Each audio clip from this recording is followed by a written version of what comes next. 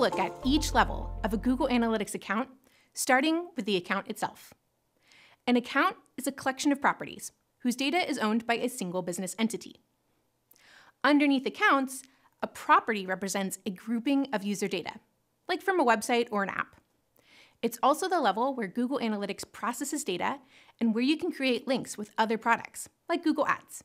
Underneath each property is a data stream that represents the flow of data from a website or an app to the property, and the level where you can control things like what data gets collected. There are web data streams for websites and app data streams for mobile apps. If your business has both a website and a mobile app, you may have a data stream for the website, a second data stream for the iOS app, and a third data stream for the Android app. Note that in most cases, you should use a single web data stream to measure the web user journey. To ensure consistent user and session reporting for web journeys that span domains, use a single web data stream combined with cross-domain measurement. When creating your Google Analytics account, you should map the account and properties you set up back to your business structure.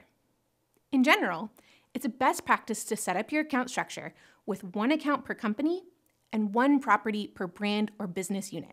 Let's look at a few examples and how they've structured their account. The first business is a fashion blog that has a single website. Their account structure would look something like this. One account, since data is owned by a single business entity, one property for the website, and one data stream. The next business is a gaming company that created a mobile racing game for both Android and iOS. Their account structure would look something like this. One account, one property for the app, and two app data streams, one for the Android version and one for the iOS version. The last business runs a food delivery service. The service has two user bases, customers and delivery drivers. So they've created two different apps, one for each user base. Their apps are on both iOS and Android. And they also have a website with two distinct sections, one for customers and one for their delivery drivers. Their account structure would look something like this. One analytics account with two properties, one focused on customers and the other focused on delivery drivers. The first property for customers would have three data streams. One web data stream for the website, one app data stream for the Android app, and one app data stream for the iOS app. The second property for delivery drivers would also have three data streams.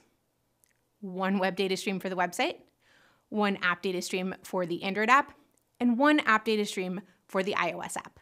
These are just a few examples of how you could structure your Google Analytics account for your business. Note that Analytics 360 is an enterprise level version of Google Analytics that provides additional flexibility for managing your data with things like subproperties and rollup properties.